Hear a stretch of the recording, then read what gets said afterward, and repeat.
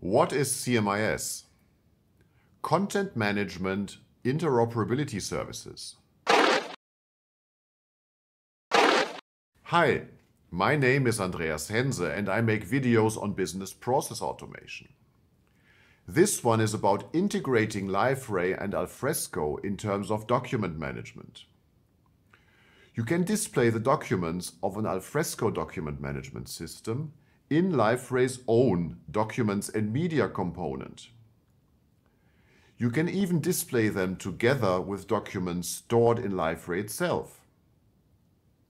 The magic behind this is called CMIS, Content Management Interoperability Services. CMIS is an open standard for connecting document management systems using web protocols like WSDL, SOAP or AtomPub.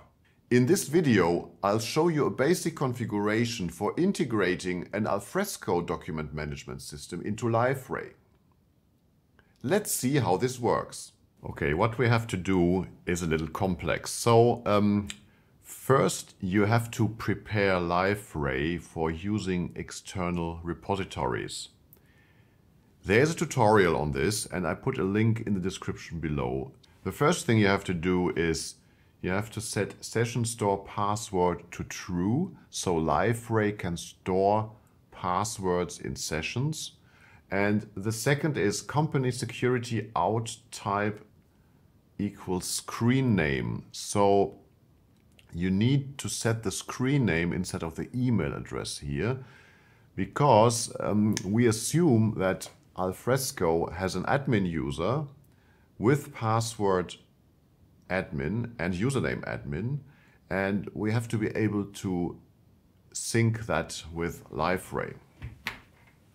Okay, so next step is you create this admin user in Liferay username admin, password admin, and administration rights.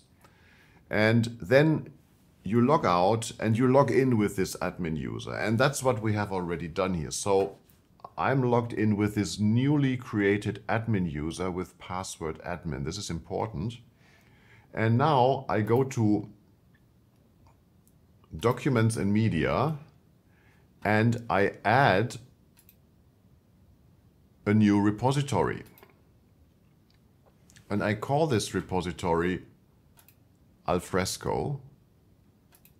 And I say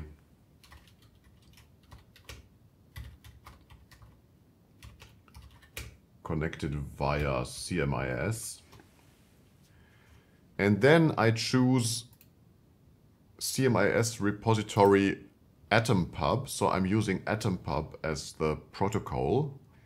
And then the system needs the AtomPub URL and I have now the URL of one of my local machines here and of course you have to put the right URL here for your repository. And then I press save. And it says success your request completed successfully. So that's a good sign.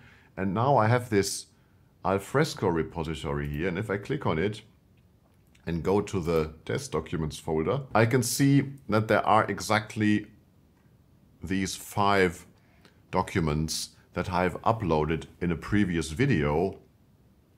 And so, for example, I can go on the photograph and I can see the photograph here and it's displayed in the same way as if it were local here, although I cannot see this info button, so it's not exactly the same thing. And I get the PDF file with a preview here. And that's it. So now I have connected an Alfresco repository in my Liferay documents in media, and I have my other documents in media in Liferay also at the same time. I hope you found these videos on document management with Liferay useful. See you soon.